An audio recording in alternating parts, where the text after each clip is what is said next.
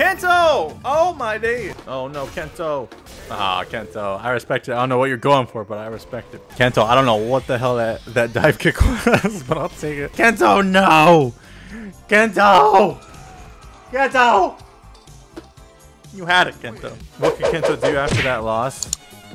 I'm glad you asked. One would be you need to identify what you weren't doing. You gotta try stuff out. Like if you know medium kick Tatsu can go through fireballs. The main one that you could hit is definitely light fireball. There's more recovery. I think there's a bit more startup. Light fireball. And we were blocking, making sure. All right, let's see. So that one, yes, I was definitely blocking. Let's see Kento if we can do do it through medium fire. I'm pretty sure you can do it through all of them except maybe heavy fireball. But then again, I haven't even tested this myself. Like I, I don't even know.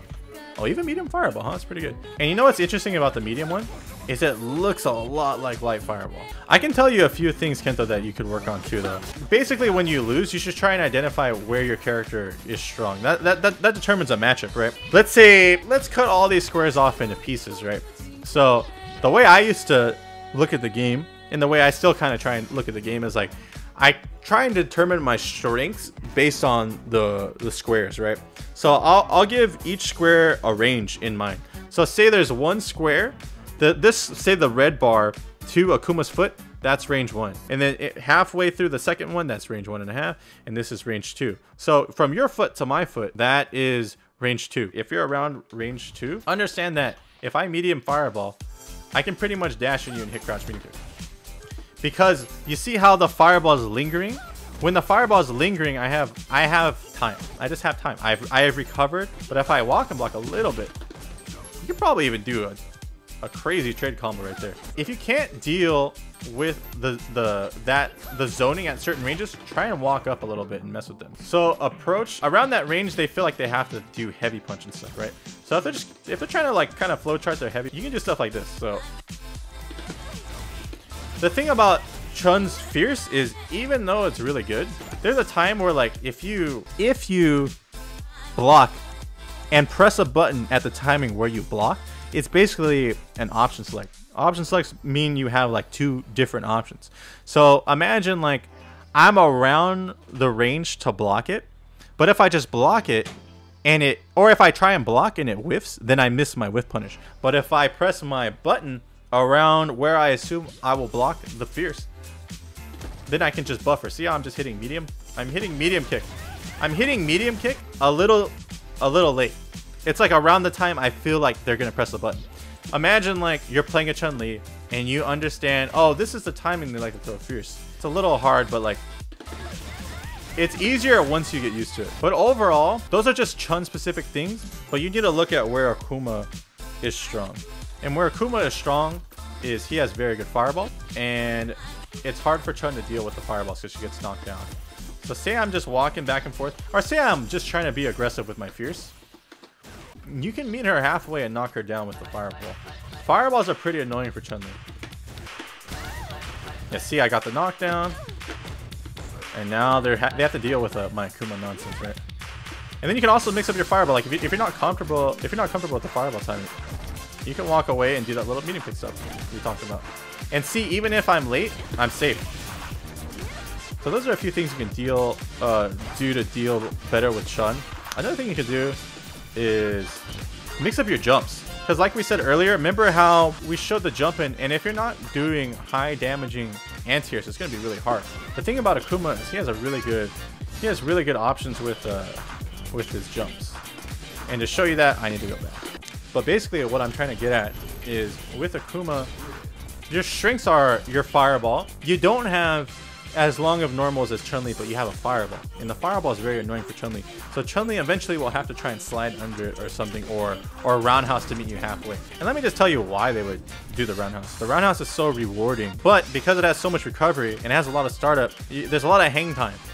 Pressing heavy kick is basically like throwing a fireball. It has the same risk. Let's say uh, Chun-Li's pressing a lot of heavy kick, right? I'm trying to throw my fireball. See, I'm trying to throw my fireball. What can Chun-Li do? She can slide, but slide's a little risky. So let's go for like the, the, the bigger damaging options, right? Heavy kick's really good. Or say they want to roundhouse my fireball, then the jump becomes an option.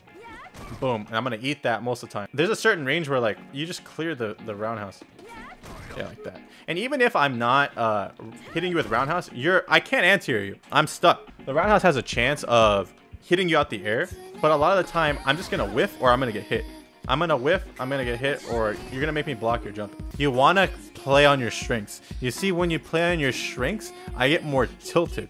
I'm trying to deal with your fireball, and then all of a sudden you jump at me, right? And then as the Chun-Li, I have to present a high damaging anti-air to make you stop. But the thing about Akuma is you can be really annoying. You can be really annoying with your zoning. You can be really annoying so much so that they, they're really focused on getting through your zoning.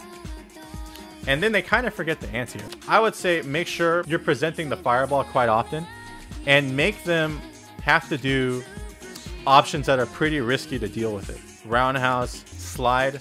Slide's pretty good, but it's also really bad because if I slide, there's a lot of times where if I just slide, I can punish you really hard. So say, let's set up this guard recovery for stand medium kick. So I'm gonna I'm gonna have Akuma do stand medium kick, and I'm gonna do slide. So let's say you condition me to to read your fireball because slide's pretty slow. Slide it doesn't really it doesn't really allow you to react to the fireball. It's really really hard. So basically when you're using slide, you're trying to space it in a way that you're sliding towards the tip of the slide, but you're also reading where the fireball is. The thing is the Akuma, what you could do Kento, is if if you just walk and block at certain ranges, you can really blow me up for doing that. Notice how it's minus 7. And even at like further ranges where it looks safe, I'm still minus 5.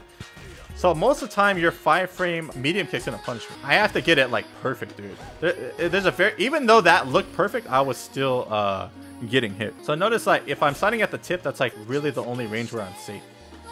And then even if I'm sliding at the tip, you can walk back and whiff punish me. So keep those things in mind, Kento. I would say where what you should look at is look at where Akuma's strong, right? Fireball. Oh, Fireball's getting blown up by standing Heavy Kick. Jump. You have to make them scared of those options, and then they'll try and anti-air. Then you can kind of like walk forward. You're kind of like disabling the Chun-Li by doing high uh, damaging options. Like say your jump, you make them focus on answering you, right? And then you can just kind of walk them down. Because they're not going to want to throw out Roundhouse. They're not going to want to throw out Fierce if you're scaring them with uh, Fireball and jump mix up, right? I hope that helps you try and you can do this for other matchups like just try and figure out where your character's strong. A lot of it is just you got to be in training but man. You got to grind it out. You got to figure out exactly where your character's strong and where my character is weak.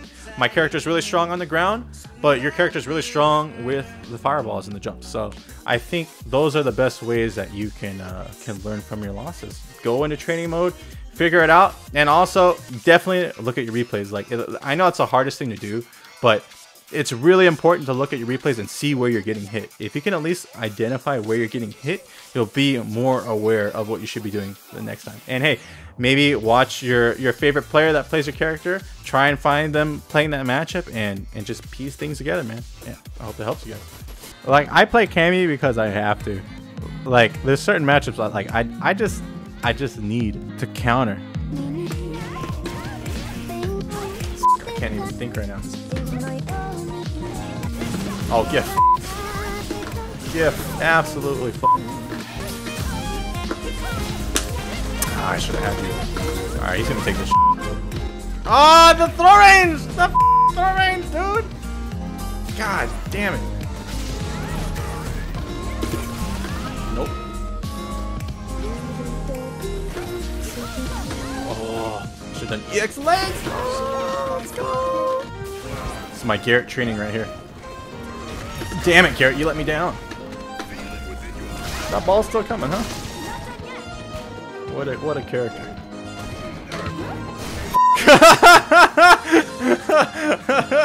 oh no. Of course the Bison player laughs at that, right?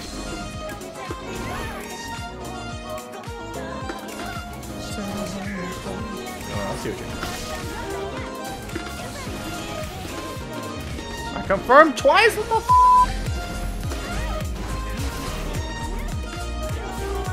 Holy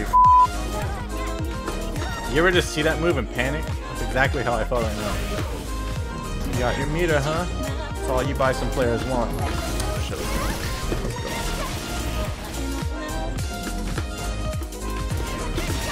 We're using all our reads right now, brothers.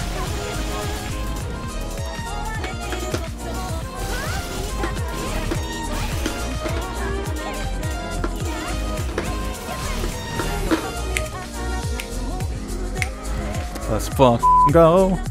Yeah, being a sore loser, not what you want to do. You could turn off a game, you could cry. You could do all these things. These are all valid, valid responses. Cry, tell yourself you suck. I'm gonna be bronze forever. All this, this, that, and the third. But yeah. Hey guys, thanks for watching the video. If you enjoyed it, please hit a like, comment, and subscribe. And hey, let me know in the comments below what kind of video do you want to see next. See you next time.